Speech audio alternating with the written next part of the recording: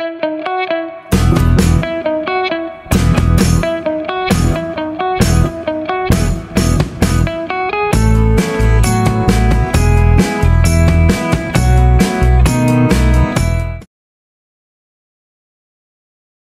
விவோஸ் விஜய் டிவியில் ஒளிபரப்பான cook with கோமாளி நிகழ்ச்சியின் மூலமாக இளம் ரசிகர்கள் மத்தியில் நீங்கள் இடம் பிடிச்சவங்க தான் பவித்ரா லக்ஷ்மி.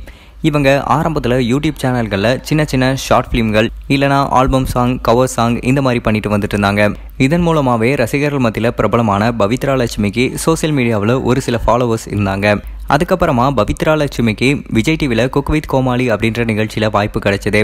இவங்க குக் வித் கோமாளி நிகழ்ச்சியில் கலந்துக்கிட்டதுக்கு அப்புறமா தான் ரசிகர்கள் மத்தியில் மிகப்பெரிய இடத்தை பிடிச்சாங்க. அது மட்டும் இல்லாமல் இவங்களுக்கு அதிகமான வரவேற்பும் கிடைச்சது. இவங்களுக்குன்னு இப்போ பட வாய்ப்புகள் அதிகமாக வந்துட்டுருக்கு. சில திரைப்படங்களில் கதாநாயகியாகவும் கமிட் ஆயிருக்காங்க. பவித்ரா இந்த நிகழ்ச்சியின் மூலமாக நினச்சி பார்க்க முடியாத அளவுக்கு புகழ் பெற்றாங்க அப்படின்னே சொல்லலாம். அது மட்டும் இல்லாமல் இவங்களுக்கு சோசியல் மீடியாவில் அதிகமான ஃபாலோவர்ஸும் இருக்காங்க. நடிகை பவித்ரா லட்சுமி அவர்களோட முகம் பார்க்கறதுக்கு ரொம்ப பொலிவோட க்யூட்டாகவே இருப்பாங்க. ஆனால் அவங்களோட முகத்தை பார்க்கும்போதே நல்லாவே தெரியும். அவங்க பிளாஸ்டிக் சர்ஜரி பண்ணியிருக்காங்கன்னு பொதுவாக சினிமா துறையை சேர்ந்த பலருமே பிளாஸ்டிக் சர்ஜரி பண்ணுறது வழக்கமான ஒரு விஷயம்தான். தங்களோட அழகு பொலிவு குறையும் போது இந்த பிளாஸ்டிக் சர்ஜரியை பண்ணிப்பாங்க. ஆனால் இவங்களால மேக்கப் இல்லாமல் வெளியே வர முடியாது. எப்போவுமே மேக்கப் போட்டு தான் வருவாங்க. அதே மாதிரி தான் பவித்ரா லட்சுமியும் பிளாஸ்டிக் சர்ஜரி பண்ணியிருக்காங்க. ஆனால் இவங்க பிளாஸ்டிக் சர்ஜரி பண்ணதுக்கு காரணமே வேற.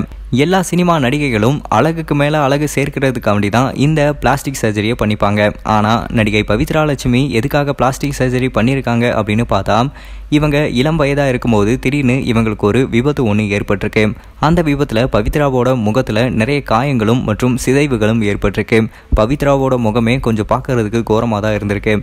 அதுக்கப்புறமா கொஞ்ச நாள் மன உளைச்சலில் இருந்திருக்காங்க. பவித்ராவோட நண்பர்கள் மற்றும் குடும்பத்தினர் பவித்ராவை பிளாஸ்டிக் சர்ஜரி செஞ்சுக்கிறபடி அவங்களுக்கு அட்வைஸும் பண்ணியிருக்காங்க அதுக்கப்புறமா தான் பவித்ரா பிளாஸ்டிக் சர்ஜரியும் பண்ணியிருக்காங்க பிளாஸ்டிக் சர்ஜரி பண்ணதுக்கப்புறமா தான் அவங்களோட முகம் கொஞ்சம் பொலிவோட மாறி இருக்கு அதுக்கப்புறமா தான் பவித்ரா சில ஷார்ட் ஃபிலிம்கள் எல்லாத்துலேயுமே நடிக்க ஆரம்பித்தாங்க இப்போது ரசிகர்கள் மத்தியில் நீங்கள் இடம் பிடிச்சிருக்காங்க நடிகை பவித்ரா லக்ஷ்மி. இவங்களை பற்றின உங்களுக்கு தோணக்கூடிய கருத்துக்களை மறக்காமல் கீழே கமெண்ட் பண்ணுங்கள் நன்றி வணக்கம்.